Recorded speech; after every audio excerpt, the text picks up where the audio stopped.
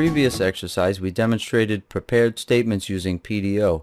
In this exercise, we'll demonstrate how to prepare statements using the MySQLi extension. Our goal is to create a prepared statement that will insert users into this people table. So we'll show how to prepare the statement and then execute it multiple times. The first thing we'll do is create a variable that represents the MySQLi database connection handler. So we'll say MySQLi is equal to new MySQLi class.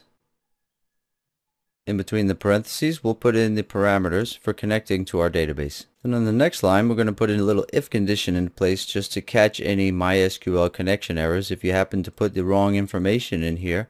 Now we'll create a variable that represents our SQL syntax.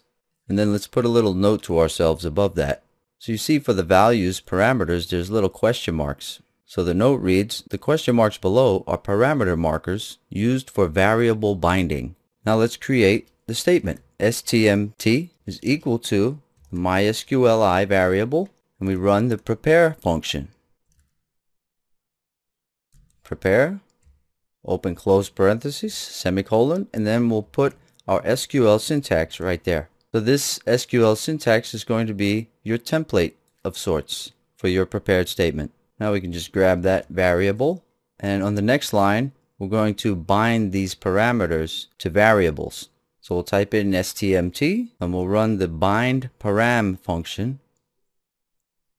Param. We'll just put a little note that says bind variables. Now the first parameter represents the type of data. So what I'm going to put is string, string, string. S represents string because I'm going to have three variables. So my next parameter is the first variable is going to be u, which represents the username in the database. The next variable is going to be g, which represents gender column in the database. Then the next variable is going to be c, which represents the country column in the database. So you see we have SSS, that means string, string, string. Each one of these variables are strings. And here are the different options that you can apply there. You see I'm using the S, which is string. And there's the I, if you want to have an integer type data. Or the D, if it's a decimal number. And then B is for blob type data. So that's why I have three S's in place. Now what we're going to do is populate the variable data. So the username will be Anton. Gender will be male.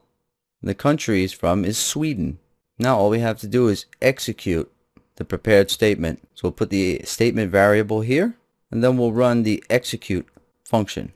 We'll put a little note right there to ourselves. Execute the prepared statement. So at that point, you're going to get an insert. Now where prepared statements come in handy is, let's go ahead and run that again. Now when the second insert occurs, there's going to be resources saved because the system, the MySQL database system doesn't have to analyze or optimize the query because it's already been optimized in the prepared statement and analyzed. So now in the demo you'll have two inserts there. Now the next thing you can do on the statement variable is close the prepared statement. So you can run the close function. Then we're going to target the MySQLi variable and we're going to close that as well. So that shows you the basics of working with prepared statements. Now I'm going to run this on my server after I put in my database credentials and then I'll check my database for the results.